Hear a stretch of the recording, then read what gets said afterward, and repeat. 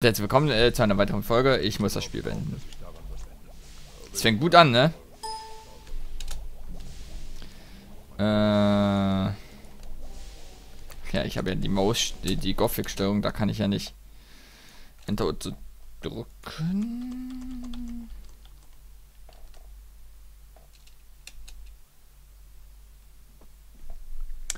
Das Ding ist, äh, dieser Typ war wieder einer dieser Händler, den ich nichts verkaufen kann. Ohne dass das buggy ist. Und ja, letzte Folge war äh, auch verkackt von mir ein bisschen. Weil ich hätte die Folge nicht beenden dürfen.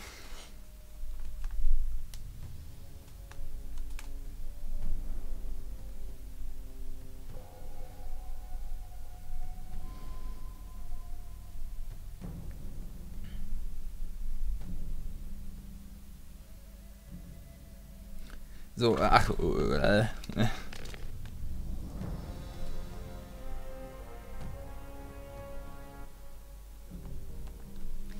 So, ähm, so, jetzt bin ich aber wieder, ne? Alles korrekt, oder? Nein. Lass mit mir reden, danke. So. Dem handel ich nicht. Weil es funktioniert ja eh nicht. So.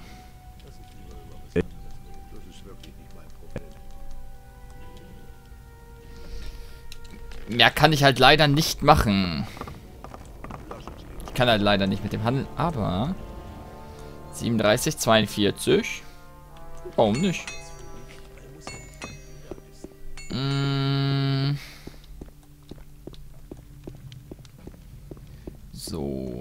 Ist das denn? Das ist Milton. Ach so.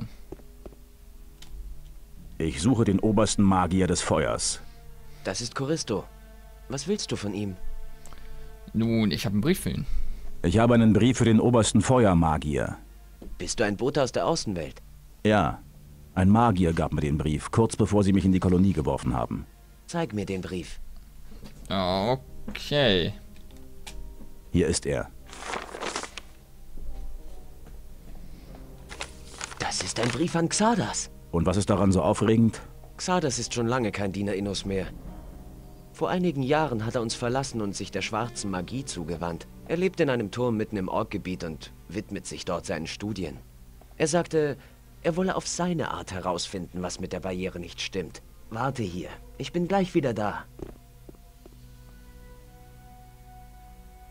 Den habe ich übrigens vertraut, deswegen habe ich denen den Brief gegeben. Eine Ewigkeit später. Choristo war ganz außer sich vor Freude. Er sagt, du kannst zu Torres gehen und dir deine Belohnung selbst aussuchen. Wo ist Torres? Wo finde ich Torres? Er ist den ganzen Tag draußen hier vorm Tempelgebäude. Nachts ist er wie alle anderen drin, aber nur Magier dürfen das Tempelhaus betreten. Also kannst du ihn nur tagsüber sprechen. Okay. Erzähl mir was über die Feuermagier. Der Kreis des Feuers bezieht seine Macht von der Gnade Innos. Der Gott des Lichts, der Wahrheit und der Gerechtigkeit wacht über uns. Die Magier betrachten sich selber als die Erwählten. Und so behandeln sie auch alle anderen. Ich hatte das Glück, damals aufgenommen zu werden. Choristo hat mich zu seinem Lehrling gemacht. Vermutlich hat er einfach Lust auf Unterhaltung. Seitdem bemühe ich mich jeden Tag, meine magischen Fähigkeiten zu steigern, damit ich in den nächsten Kreis aufgenommen werden kann. Okay. Ich will ein Lehrling der Magier werden. So wie du. Choristo hat mich damals erwählt, weil ich eine besondere Sache für die Erzbarone erledigt habe. Ohne dass du etwas Herausragendes leistest, wird er dich nicht als Lehrling in Betracht ziehen. Du musst außerdem dem alten Lager angehören. Ich kann mir nicht vorstellen, dass Choristo ein Mitglied eines anderen Lagers als Lehrling akzeptiert. Mhm. Wir sehen uns. Darf ich jetzt? Ich darf da wahrscheinlich trotzdem nicht rein, ne? So, Torres! Du darfst keinen Fuß über diese Schwelle setzen. Es sei denn, Meister Choristo gestattet es. Okay. Wir sehen uns.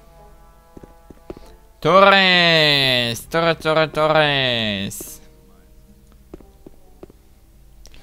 So. Choristo schickt mich. Ich habe den Brief übergeben und soll meine Belohnung selber wählen. Du hast uns einen großen Dienst erwiesen und sollst deine Belohnung erhalten. Wähle mit Bedacht. Was kann ich denn nehmen? Stärkering plus 5. Ring des Geschicks plus 5. Drei Spruchrollen. Feuerwehr, Blitz, Verwandeln, Scavenger, Essenz des Geistes, maximale Mana plus 5.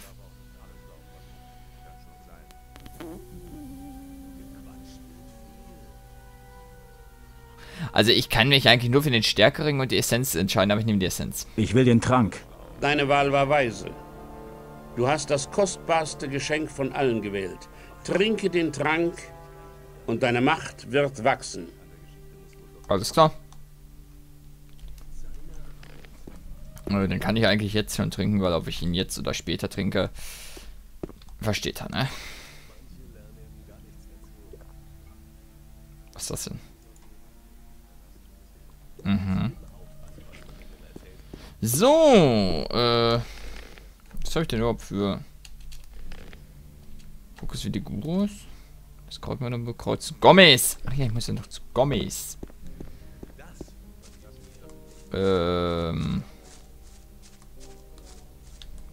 Darf ich rein? Halt, was willst du hier? Ich will hier rein. Machst du Witze? Ja. Frag das doch mal Torus. Werde ich. Wenn du gelogen hast, bist du tot. Soll das heißen, ich kann jetzt reingehen? Ja, geh schon. Alles klar. Wer bist du? Was kann ich für dich tun? Wer bist du? Ich bin Raven, Gomez rechte Hand. Jeder, der hier ist, um mit Gomez zu reden, redet vorher mit mir. Alles klar. Ich habe eine Ladung Kraut für Gomez von Korkalom. Bartolo kümmert sich um diese Sachen. Gomez selbst gibt sich nicht mit Boten ab. Du findest ihn in der Kammer hier rechts hinter dem Eingang oder in der Küche im großen Turm. Nachts schläft er natürlich. Da würde ich es nicht wagen, ihn zu stören. Ah, okay. Hm, was ist das hier? Gottes. Wenn ich die Schwede klauen würde. Du Ratte, Finger weg! Hier zeig ich! Okay. Ich wusste ja nicht, dass das so schlimm ist. Aber das wird sich halt schon lohnen.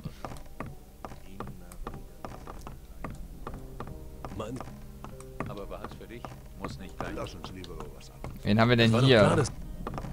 Skara und Arto. Wer bist du? Sie nennen mich Scar.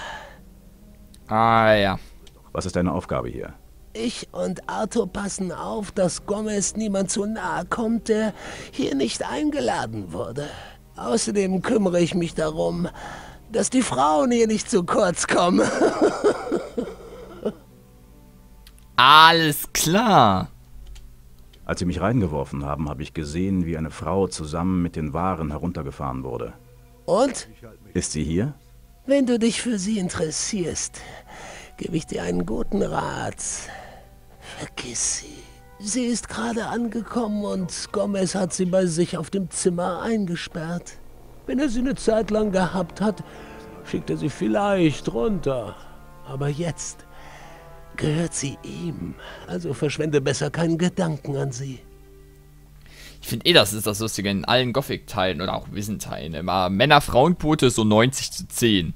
Wenn nicht sogar höher. Kannst du mir etwas über Gomez erzählen?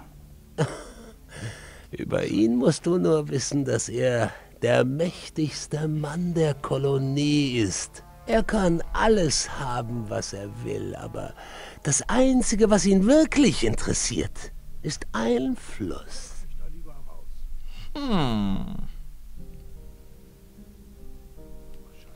Ja, das ist ja mal gut zu wissen. Oh, wer bist du? Wer bist du? Ich bin Arto. Ah, alles klar. Was machst du so? Ich bin Gomez Leibwächter. Du redest nicht viel, was? Nein. Schön. Solche Leute gefallen mir. Oh, oh. Hey, Serafia. You're not allowed to talk to us. Alles klar. Bist du's, Gomez? Du bist ausgefallen von der EM. Ich bin gekommen, um dir meine Dienste anzubieten. Du platzt hier einfach rein und erwartest, dass ich mich mit dir befasse, du Wurm. Wache! Äh, Netter. Man muss eben aufpassen. Bengel!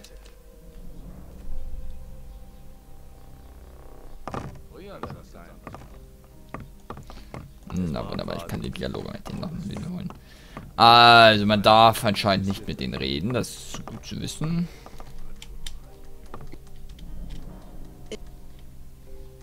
Ähm. So. Ja. So. Okay, dann. Huch.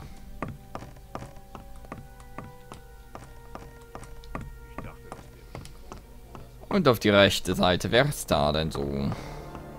Hallöchen. You're not allowed to talk to us. Bartolo. Wer bist du? Ich bin Bartolo. Ich kümmere mich um die Versorgung der Erzbarone. Ich regle alles. Von Krautlieferungen über Essen bis hin zur Versorgung der Frauen. Außerdem sorge ich dafür, dass die beiden idiotischen Köche ihre Arbeit gut machen. Sie sollten mir dafür dankbar sein. Gomez lässt sich nicht jeden Fraß gefallen. Die letzten beiden hat er an die Snapper im Fluss verfüttert. Ich habe eine Ladung Kraut von Korkalom für Gomez. Zeig her. Mm. Gut. Gomez ist beinahe ungeduldig geworden. Sei froh, dass du es heute noch abgeliefert hast. Was ist mit der Bezahlung? Nicht so eilig. Hier, nimm. 500 Erz waren abgemacht. Nett. Äh. Balam. Alles klar? So klar wie vor 20 Jahren. Und seitdem hat sich hier nicht viel verändert. Gibt es hier Leute, die ich kennen sollte? Als Neuer solltest du dir es nicht mit Grabo verscherzen. Er ist zwar nur ein Buddler, aber er hat Beziehungen bis zu den Erzbaronen. Wenn du mal ein Problem mit Gomez Leuten hast, kann er dir helfen, dich freizukaufen. Mhm. Danke, mach's gut. Halt die Ohren steif, Junge. Äh, Was ganz anderes. Was? Omid. Ich will mit Omid reden. Ich will mehr über dieses Lager erfahren. Dann solltest du mit den Schatten reden. Sie können dir noch am ehesten sagen, was du wissen willst. Aber sei vorsichtig. Den meisten von ihnen kannst du nicht trauen. Wer hat hier das Sagen? Hier im äußeren Ring treiben Fletcher, Bloodwin und Jekyll das Schutzgeld ein. Jedem gehört ein Viertel.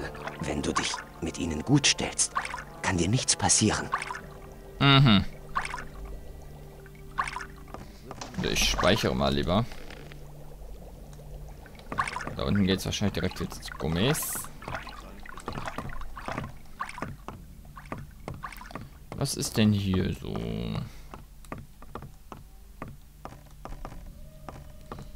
Das sind Türen, die lasse ich alle mal lieber verschlossen. Wen haben wir denn hier? Gardisten. Ja, hier ist äh, anscheinend gar nichts. Das ist gut. Okay, ähm... Das Krautmonopol Kraut zu Gomez bringen.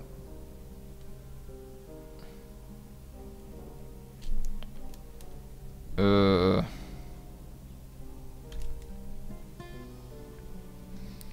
Ich muss ja eh zum alten Lager. Wahrscheinlich hast du recht. Sechs Minuten, das schaffe ich in dieser Folge noch. La la la la la la la la. Diese Musik reicht mir jetzt langsam. So, ähm. Verlass dich auf. Ähm. Richtig. Ich weiß gerade auch nicht. Sly. Ich finde Crossfire ja auch nicht so gut.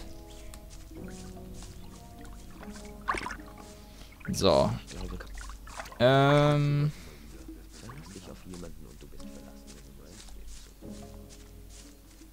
Richtig. Ich weiß gerade auch nicht. Sehr gut. Äh.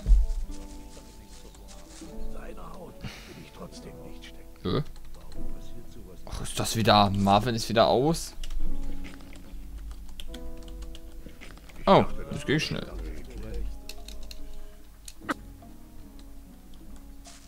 Und du?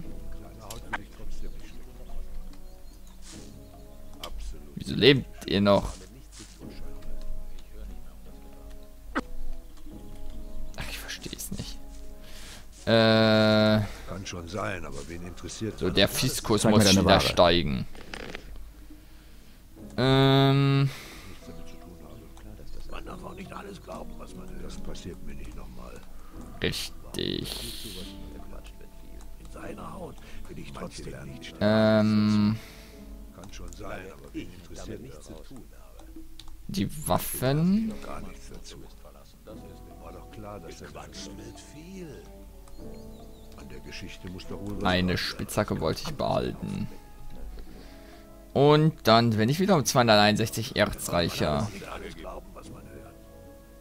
Der letzte Scheiß. Damit liege ich äh, schon doch deutlich im oberen Viertel.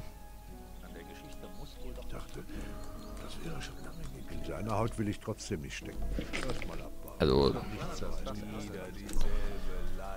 Ich glaube kaum, dass ich daran was ist das bei dem jetzt auch nicht mehr? Wieso kann ich hier nicht mehr handeln, Mann? Was ist diese Scheiße? Ich höre nicht mehr auf das Gefaser. An der Geschichte muss wohl doch was dran sein. Warum passiert sowas? War doch klar, dass das ärgerlich ist, oder nicht? Oh, sowas recht einen einfach auf.